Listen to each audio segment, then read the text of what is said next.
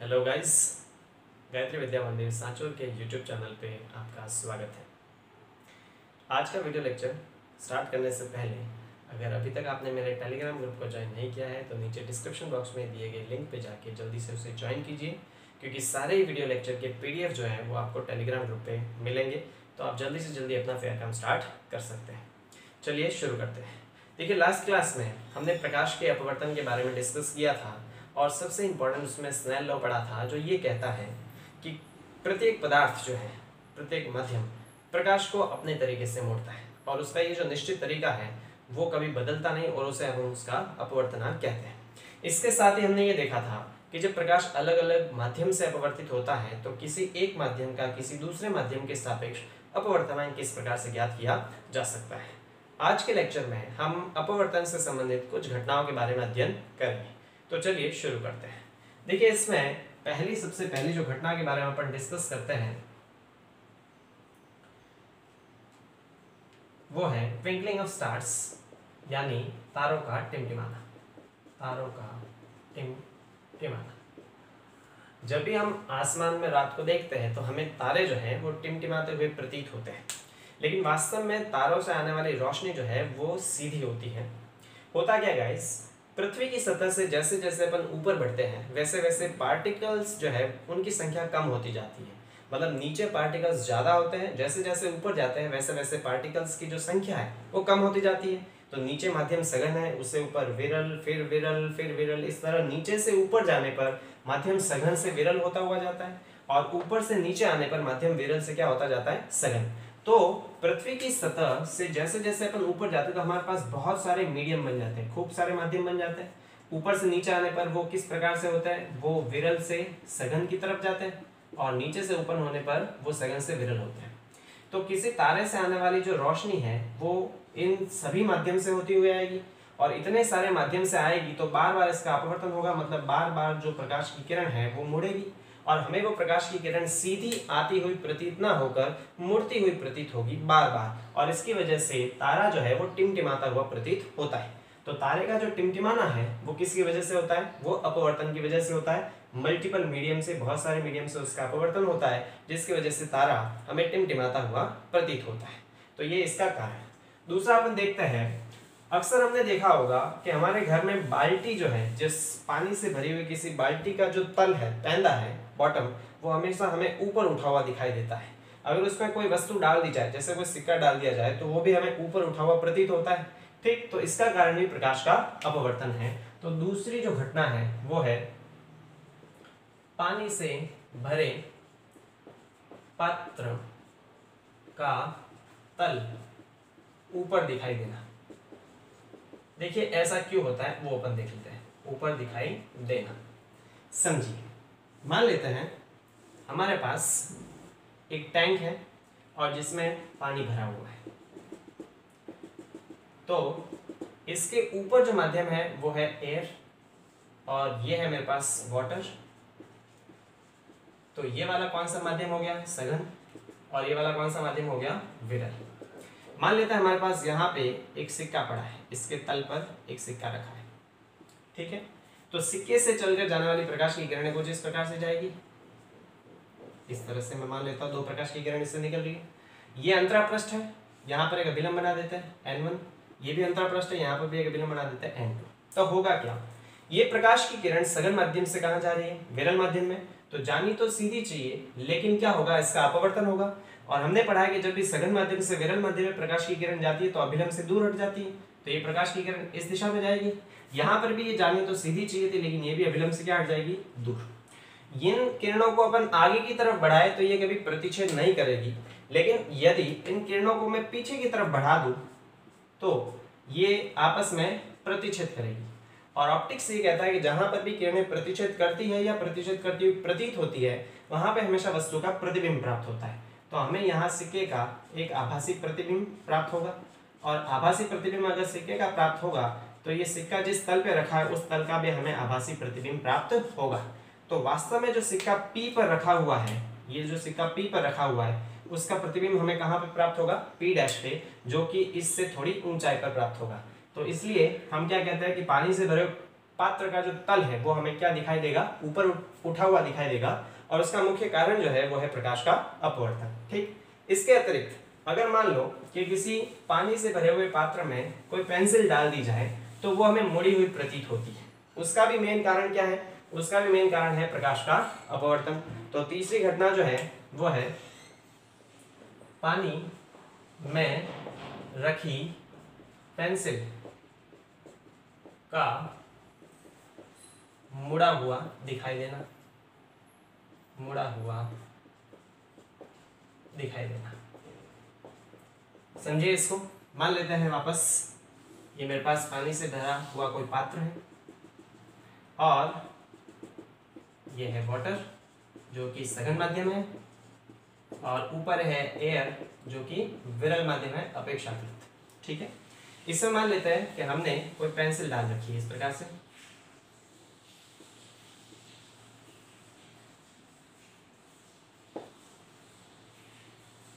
मान लेते हैं ये पेंसिल डाल रखी ठीक है? तो पेंसिल से निकलने वाली प्रकाश की जो किरणें हैं, वो कुछ इस प्रकार से जाएगी? ये किरण गई इधर, ये किरण गई इधर। हम जानते हैं कि ये किस माध्यम से, किस माध्यम में जा रही है? सघन माध्यम से, विरल माध्यम में। तो जानी तो सीधी चाहिए, लेकिन अभिलंब से दूर हटेगी। तो ये अभिलंब से क्या हट जाएगी? दूर हट जाएगी इस प्रकार से। ये भी अभिलंब से क्या हट जाएगी? दूर।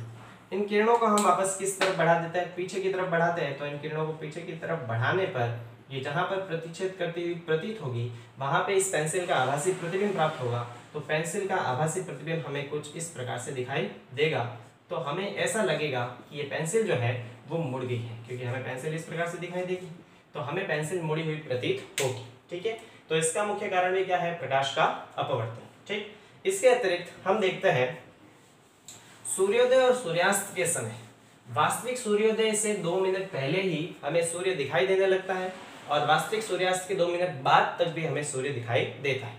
उसका मुख्य कारण क्या है प्रकाश का अपवर्तन? तो सूर्योदय और सूर्यास्त की बात कर लेते हैं। सूर्योदय सूर्योदय एवं सूर्यास्त। तो सूर्योदय और सूर्यास्त के समय होता क्या है गाइस समझिए। ये मान लेते हैं हमारी अर्थ और इसके चारों ओर हमारा एनवायरनमेंट है। ठीक है? ये हमारी अर्थ है, पृथ्वी है और इसके चारों ओर ये हमारा एनवायरनमेंट है। यानी कि पर्यावरण है। वातावरण या पर्यावरण कह सकते हो, वातावरण कह देता हूँ मैं इसको, वातावरण। ठीक? ये हमारा हॉरिजॉन यानी कि क्षितिज। जब सूर्य क्षितिज से नीचे होता है, इस स्थिति की अपन बात कर लेते हैं। ठीक है?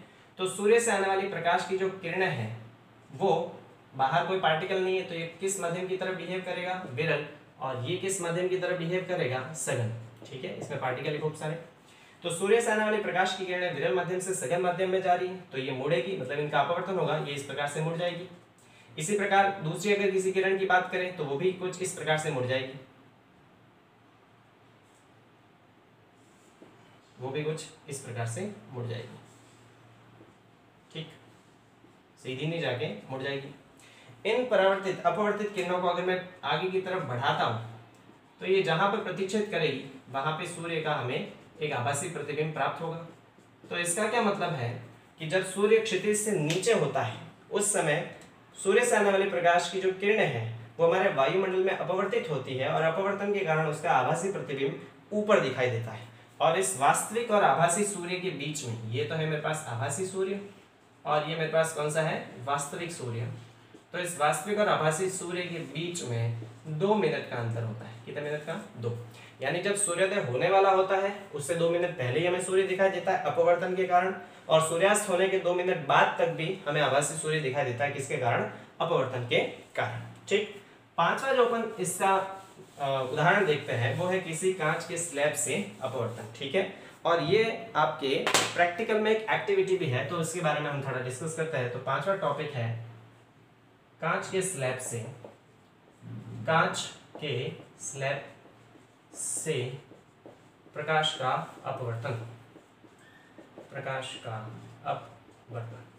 समझिए देखिए एक्टिविटी है मान लेते हैं हमारे पास एक कांच का कोई स्लैब है इस प्रकार से। इसको अपन नाम दे देते हैं पी क्यू आर एस ठीक? और ये इसकी चौड़ाई अपन मान लेते हैं टी ठीक है? यहाँ पर ऊपर कौन सा माध्यम है? एयर ये खुद अपने आप में कौन सा माध्यम है? ग्लास, और नीचे भी कौन सा माध्यम है? एयर। इस पृष्ठ पर मान लेते हैं कि कोई प्रकाश की किरण आपतित होती है। ए, ओ बिंदु पर आपतित होती है। यहाँ पे मैं एक अभिलंब बना देता हूँ। अभिलंब का नाम दे देते हैं। डॉट एक में बना देते हैं और अभिलंब का नाम दे देते हैं एम वन एन तो ये वाला कौन क्या कहलाएगा? आपतन कौन आई प्रकाश की किरण जानी तो क्या चाहिए थी गाइस सीधी। लेकिन ये सीधी ना जाके क्योंकि ये किस माध्यम से किस माध्यम में जा रही है? ये जा रही है विरल माध्यम से सघन माध्यम में। ये है विरल और ये कौन सा है? सघन। तो ये अभिलंब की तरफ़ झुकेगी तो ये अभिलंब की तरफ़ झुक जाएगी इस तरह से।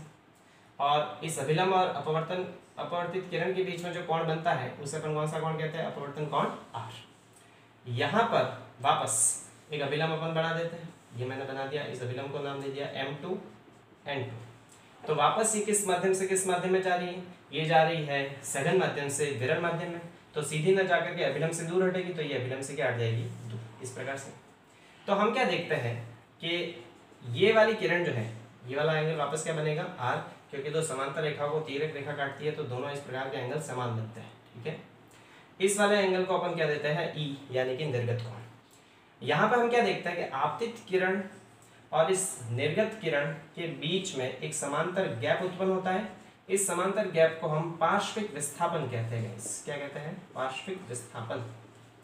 तो हम ये देखते हैं कि ये जो पार्श्विक विस्थापन है, ये किन किन घटनाओं किन किन फैक्टर पर डिपेंड करता है, ठीक है? देखिए, अब आपको आपकी स्क्रीन पर एक डायग्राम दिख रहा होगा, जिसमें कांच के किसी स्लैब से हमने लेजर लाइट को गुजारा है।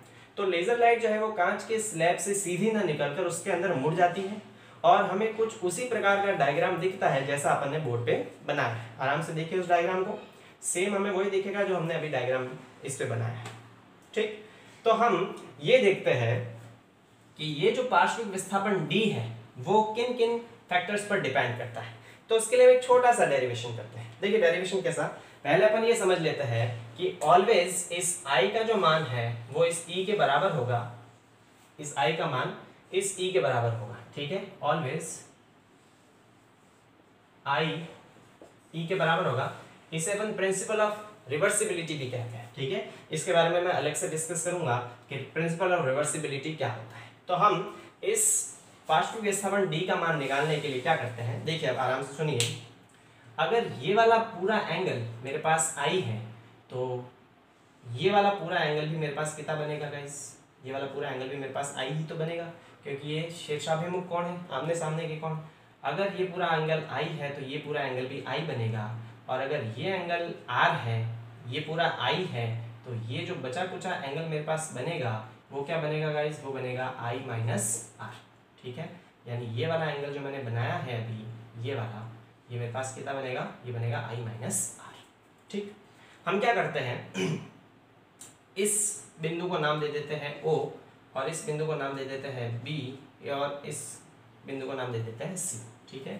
कोई दिक्कत नहीं, इसको अपन नाम दे देते हैं अपनी इच्छा से एस एस तो दे चुके तो इसको एक्स दे देते हैं, कोई फ़र्क नहीं पड़ेगा। अब इस बी से इस लाइन पर अपन एक डाल देते हैं लंब, ठीक है? तो ये मैंने डाल दिया लंब, इस बिंदु पर मैंने डाल दिया लंब। और इस लंब को अपन नाम दे देते हैं डी ये मैंने नाम दे दिया इसको डी ठीक है? अब अपन कुछ डेरिवेशन पोर्शन इसमें देखते हैं। क्या होगा? समझिए। सबसे पहले अपन निकालते हैं कॉस आर तो कॉस आर कॉस थीटा बराबर जो होता है कॉस आर कॉस थीटा बराबर क्या होता है? वो होता है आधार बटा कर्ण। ये रहा मेरे पास आर इसके सामने तो होगा लंब तो ये मेरे पास क्या आएगा? आधार। आधार कितना देख रहा है? B N one O N one तो ये मेरे पास आ जाएगा ओ एन वन और 90 डिग्री के सामने वाली भुजा जो है, ये 90 डिग्री और 90 डिग्री के सामने कर्ण होता है तो कर्ण कितना दिख रहा है? ओ बी यह आ जाएगा कर्ण ओ बी यहाँ से मेरे पास क्या आ जाएगा? कॉस आर बराबर। इस O N one O N one की वैल्यू किसके बराबर है? टी के बराबर। तो चूँकि ओ एन वन का मान टी के बराबर है तो हम सीधा क्या लिखेंगे? टी अपॉन ओ बी तो यहाँ से अगर मैं ओ बी का मान निकालू तो मेरे पास क्या आ जाएगा? यह आ जाएगा टी अपॉन कॉस आर इसको अपन क्या दे देते हैं? समीकरण एक। ठीक? अब वापस इधर देखते हैं। इस वाले त्रिभुज में ओ बी डी में, ये वाला त्रिभुज, ठीक है? समकोण त्रिभुज। तो इस समकोण त्रिभुज में अपन निकालते हैं sine i minus r sine i minus r तो साइन थीटा बराबर क्या होता है? लंब बटा तो देखिए, अगर ये वाला कोण मिल गया तो इसके सामने वाली भुजा लंब होगी। लंब कितना देर का है बी डी तो ये मेरे पास आ जाएगा बी डी और नब्बे डिग्री के सामने कर्ण होता है। ये नब्बे डिग्री के सामने कर्ण कौन सा दिख रहा है? ओ बी तो ये मेरे पास क्या आ जाएगा? ओ बी यहाँ से मेरे पास आ जाएगा इस बी डी का मान किसके बराबर? तो देखिए बी डी का मान किसके बराबर दिख रहा है? पार्श्विक विस्थापन स्मॉल डी के बराबर। तो चूँकि इस बी डी का मान पार्श्विक विस्थापन स्मॉल डी के बराबर है तो इसको अपन स्मॉल डी लिख लिया। जाएगा साइन आई माइनस आर बराबर। बी डी का मान किसके बराबर? स्मॉल डी और अपॉन ओ बी इस डी का मान अपन को निकालना है तो ये ओ बी इसके भाग में, इधर आएगा तो गुणा में आ जाएगा। ये आ जाएगा small d is equal to O B into sine i minus r यहाँ से स्मॉल डी बराबर ओ बी की जगह हमें पास इक्वेशन फ़र्स्ट में वैल्यू है तो हम इसको इक्वेशन फ़र्स्ट से इसमें रख देते हैं। ओ बी की जगह क्या आ जाएगा मेरे पास? टी अपॉन कॉस आर और ये आ जाएगा साइन आई माइनस आर इसको अपन दे देते हैं इक्वेशन नंबर दो। तो इक्वेशन दो से हमें पता चलता है कि जो पार्श्विक विस्थापन स्मॉल डी का मान है, वो टी के समानुपाती है। तो हम लिख सकते हैं by equation second by equation second we can clearly see that d is directly proportional to t यानी पार्श्विक विस्थापन का मान इस कांच के स्लैब की चौड़ाई के समानुपाती है। जैसे जैसे इसकी चौड़ाई बढ़ती जाएगी, इस पार्श्विक विस्थापन का मान भी क्या होता जाएगा? बढ़ता जाएगा। मतलब अगर हम मोटा सा कांच का स्लैब लेते हैं तो उसमें पार्श्विक विस्थापन ज़्यादा आएगा, और अगर हम पतला कांच का स्लैब लेते हैं तो उसमें पार्श्विक विस्थापन क्या आएगा गाइस कम आएगा। तो ये अपन ने डिस्कस कर लिए अपवर्तन से संबंधित कुछ घटनाओं के बारे में। और ये मैं बता दूँ कि प्रैक्टिकल में एक अलग से एक्टिविटी भी है, जिसमें हम पार्श्विक विस्थापन ज्ञात करते हैं तो ये हम प्रैक्टिकल में भी डिस्कस करेंगे। चलिए, नया टॉपिक स्टार्ट करते हैं गाइस जो कि है पूर्ण आंतरिक परावर्तन। देखिए पूर्ण आंतरिक परावर्तन जो है, वो one of the most important topic है। नाम से ही अपन को पता चलता है, परावर्तन न होकर कि ये पूर्ण आंतरिक परावर्तन है। मतलब एक तो परावर्तन पूर्ण रूप से होगा, और आंतरिक का मतलब किसी माध्यम के अंदर। ठीक है? तो हम स्टार्ट करते हैं। पूर्ण आंतरिक परावर्तन। पूर्ण आंतरिक परावर्तन। टोटल इंटरनल रिफ्लेक्शन समझिए। क्या होता है? इसको समझने के लिए हम पहले एक एक्सपेरिमेंट करते हैं। देखिए एक्सपेरिमेंट किस तरह का? वेरी इजी एक्सपेरिमेंट समझिए। मान लेते हैं कि हमारे पास पानी से भरा कोई टैंक है। ठीक है? इस टैंक को मैं लिमिटेड नहीं करता मान लेते हैं पूरा टैंक वहाँ तक भरा हुआ है, ठीक है? तो ये मेरे पास क्या भरा हुआ है यहाँ पे? वाटर और ऊपर मेरे पास कौन सा माध्यम है? एयर तो एयर कौन सा माध्यम होता है गाइस वाटर के कंपैरिजन में विरल, और ये कौन सा हो जाएगा? सेकंड मान लेते हैं कि यहाँ पर कोई वस्तु रखी है पी ठीक? तो पी से चलकर जाने वाली प्रकाश की कोई किरण किस माध्यम से, किस माध्यम में जा रही है? सघन माध्यम से, विरल माध्यम में। तो क्या होगा? मान लेते हैं कि यहाँ पर ये आपतन कौन है? आई वन तो जानी तो सीधी चाहिए, लेकिन होगा क्या कि ये इस अभिलंब से क्या हटेगी? दूर। तो ये इस तरह से जाएगी, ठीक है?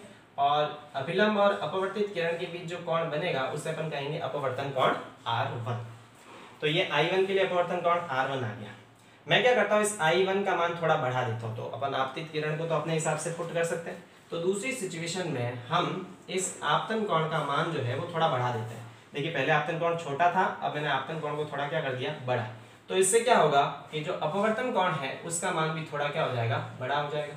देखिए, आपतन कोण का मैंने मान बढ़ाया तो इस अपवर्तन कोण का मान भी थोड़ा क्या हो गया, बढ़ गया। तो ऐसे ऐसे करके मैं जैसे जैसे आपतन कोण का मान बढ़ाता जाऊँगा, वैसे वैसे अपवर्तन कोण का मान भी क्या होता जाएगा, बढ़ता जाएगा। एक सिचुएशन ऐसी आएगी कि आपतन कोण के किसी मान के लिए इस अपवर्तन कोण का मान बढ़ते बढ़ते 90 डिग्री हो जाएगा। कितना डिग्री हो जाएगा? 90 यानी आर किसके बराबर आ जाएगा? 90 डिग्री।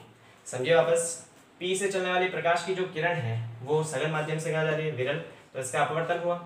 मैंने अगर आपतन कोण का मान बढ़ाया तो इस अपवर्तन कोण का मान भी क्या होगा? बढ़ेगा। तो जैसे जैसे मैं आपतन कोण बढ़ा रहा हूँ, वैसे वैसे अपवर्तन कोण का मान भी बढ़ रहा है। तो एक कंडीशन ऐसी आएगी, जब आपतन कोण के किसी मान के लिए इस अपवर्तन कोण का मान बढ़ते बढ़ते कितने डिग्री हो जाएगा? 90 डिग्री, ठीक है? तो इस आपतन कोण को हम क्रांतिक कोण कहते हैं गाइस कौन सा कोण कहते हैं? क्रांतिक कोण। तो क्रांतिक कोण की डेफिनेशन किस तरह से दी जा सकती है?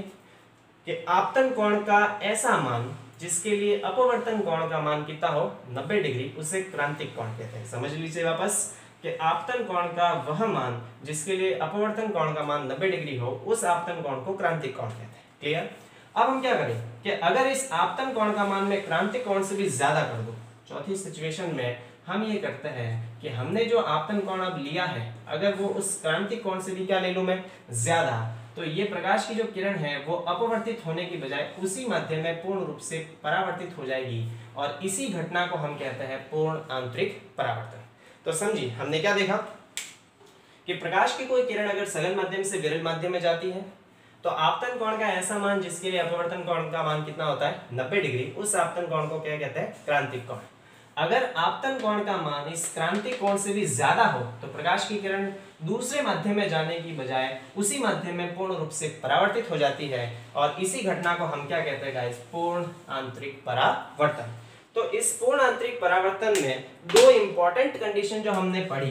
पहली इंपॉर्टेंट कंडीशन ये है कि हमेशा ही प्रकाश की किरण किस माध्यम से, किस माध्यम में जानी चाहिए? सघन माध्यम से, विरल माध्यम में। अगर प्रकाश की किरण किस माध्यम से, किस माध्यम में जाएगी? सघन माध्यम से, विरल माध्यम। और दूसरी इंपॉर्टेंट कंडीशन कि आपतन कोण का मान हमेशा ही क्रांतिक कोण से क्या होना चाहिए? बड़ा। क्रांतिक कोण को इंग्लिश में क्रिटिकल एंगल भी कहते हैं। क्रिटिकल एंगल ठीक है? इसलिए इसे आईसी से मैंने लिखा है। तो पूर्ण आंतरिक परावर्तन के लिए दो इंपॉर्टेंट कंडीशन कि प्रकाश की किरण सघन माध्यम से विरल माध्यम में जानी चाहिए और आपतन कोण का मान क्रांतिक कोण से क्या होना चाहिए? ज़्यादा। तो वो प्रकाश की किरण दूसरे माध्यम में जाने की बजाय उसी माध्यम में पूर्ण रूप से क्या हो जाएगी? परावर्तित। तो यहाँ पे इंपॉर्टेंट बात ये दिमाग में आती है कि सर हमें आप इस क्रांतिक कोण का मान कैसे पता होगा?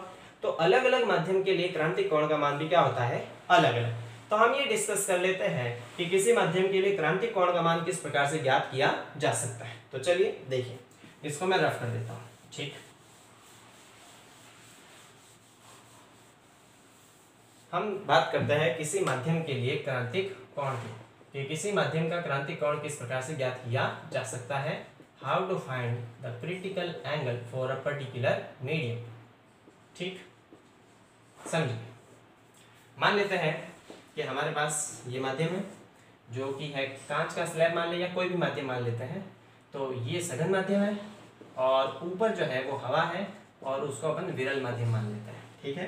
तो ये माध्यम नंबर एक हुआ, ठीक है? ये माध्यम है एक एम वन मतलब मीडियम वन और ये है एम टू मतलब मीडियम टू तो इसका जो अपवर्तनांक है, विरल माध्यम का अपवर्तनांक मैं एन वन ले लेता हूँ और इस सघन माध्यम का अपवर्तनांक कितना ले लेता हूँ? एन टू प्रकाश की किरण सघन माध्यम से विरल माध्यम में जा रही है, ठीक है?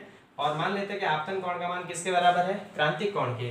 तो अपवर्तन कोण का मान किसके बराबर आएगा? हम जानते हैं अपवर्तन कोण का मान नब्बे डिग्री के बराबर आएगा। यही तो अपन ने पढ़ा है अगर प्रकाश की किरण सघन माध्यम से विरल माध्यम में जाए और आपतन कोण का मान क्रांतिक कोण के क्या होगा? इस बराबर हो, अपवर्तन क्रांतिक कोण का के बराबर हो, आपतन कोण का मान तो इस क्रांतिक कोण का मान किसके बराबर आएगा? नब्बे डिग्री के बराबर आएगा, ठीक है?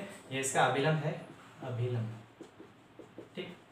तो हम यहाँ पे स्नेल का नियम लगाते हैं। देखिए, मैंने कहा था कि जब भी अपन अपवर्तन से संबंधित किसी भी घटना के बारे में अध्ययन करेंगे तो हमेशा स्नेल का नियम लगाएँगे। तो यहाँ भी अपन कौन सा नियम लगाते हैं? स्नेल का नियम। तो Snell's law. By Snell's law. Snell का नियम कहता है कि sine i upon sine r बराबर होता है n two upon n one n two क्या है? दूसरे माध्यम का अपवर्तनांक और एन वन क्या है? पहले माध्यम का अपवर्तनांक। तो समझिए यहाँ पे देखिए साइन आई साइन आई की जगह मेरे पास आपतन कोण कितना है? आई सी और साइन आर साइन आर की जगह अपवर्तन कोण कितना होगा हमेशा क्रांति कोण के लिए? 90 is equal to n two जो है वो दूसरे माध्यम का अपवर्तनांक है और दूसरा माध्यम के अपवर्तनांक कितना दे रखा है? एन वन याद रखिए। और एन वन जो है वो पहले माध्यम का अपवर्तनांक है तो पहला माध्यम कौन सा है यहाँ पे? ये वाला। और इसका अपवर्तनांक कितना है? एन टू ठीक? तो यहाँ पे हम क्या लिख लेंगे? यहाँ पे आ जाएगा sine i c upon sine ninety का मान होता है वन तो सीधा ही one. N one upon n two को अपन क्या लिख सकते हैं? N one upon n two को लिख सकते हैं, या तो एन वन टू, या फिर अगर हमको ये नहीं लिखना हो तो हम क्या लिख सकते हैं? इसको लिख सकते हैं one upon n two upon n one. लिख सकते हैं इसको? ये एन वन नीचे चला जाएगा। और n two upon n one को हम लिखते हैं n two one. N two one होता है n two upon n one. यानी दूसरे माध्यम का पहले माध्यम के सापेक्ष अपवर्तनांक, ठीक? तो यहाँ पे मेरे पास क्या आ जाएगा? यहाँ से मेरे पास आ जाएगा साइन आई सी बराबर। इस पूरे को क्या लिखेंगे? यह आ जाएगा one upon n two one अगर मेरे को आई सी का मान निकालना है तो आई सी बराबर ये साइन उधर जाएगा तो ये आ जाएगा sine inverse one upon n two one तो किसी भी माध्यम के लिए हम क्रांतिक कोण का मान इस प्रकार से ज्ञात कर सकते हैं। तो हमें क्या पता चलता है कि क्रांतिक कोण का जो मान है, वो माध्यम के अपवर्तनांक पर निर्भर करता है। अलग अलग माध्यम का अपवर्तनांक चूँकि अलग अलग होता है, इसलिए अलग अलग माध्यम के लिए क्रांतिक कोण का मान भी क्या होता है? अलग। अलग तो इस वीडियो लेक्चर में हमने अपवर्तन से संबंधित कुछ घटनाओं के बारे में अध्ययन किया। उसके साथ ही हमने पूर्ण आंतरिक परावर्तन और क्रांतिक कोण के बारे में डिस्कस किया।